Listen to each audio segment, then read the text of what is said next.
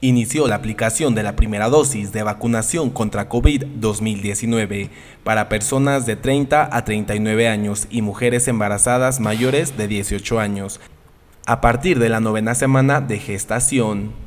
Desde temprano, personas acudieron a formarse en filas a la espera de recibir su inmunización contra el coronavirus en los diversos puntos de vacunación en la zona conurbada de Guadalupe y Zacatecas. Los ciudadanos del municipio de Zacatecas acudieron a su sede desde muy temprano.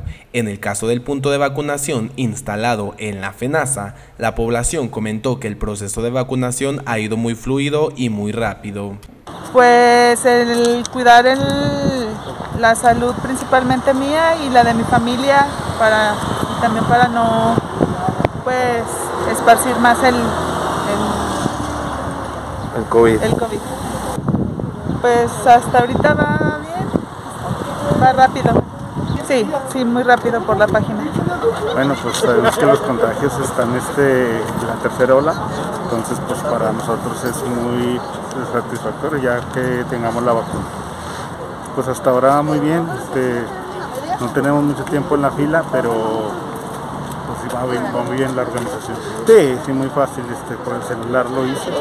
Y, pues una mala cura y ya automáticamente ya. Pues este es este muy, preocupante, pero ya con la vacuna pues ya esperemos que ya se, poco se normalice y vaya bajando.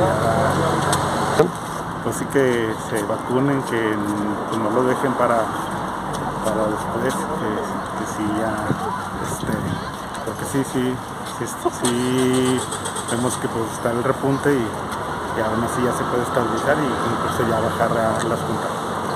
De igual manera, hicieron un llamado a la población zacatecana para que sigan cuidándose contra el COVID-2019, sobre todo a los jóvenes, usando todas las medidas de prevención sanitaria, como lo es el uso de cubrebocas, el gel antibacterial, la sana distancia y evitar aglomeraciones.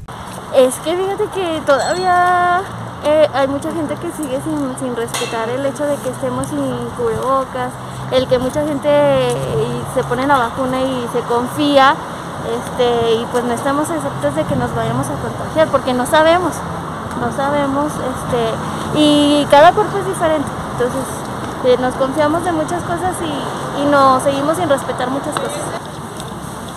Pues pues que sí es necesario, porque si te fijas, eh, o sea, nos quejamos de que nos cierran lugares, nos no, no está abierta las escuelas, no, no están abiertos muchos lugares, eh, pero eh, nos quejamos de tanto, pero no hacemos nada por, por este ayudar a que, a que no nos sigan cerrando, entonces, a que nos sigan este, pues cerrando todos los lugares y pues no hay que venir, vacunarse, estar con cubrebocas, cuidarnos, porque si no así vamos a seguir y hasta cuándo. O sea, ya teníamos la idea de que a lo mejor íbamos a regresar a escuelas, que ya íbamos a regresar a otros lugares, y otra vez regresate al semáforo.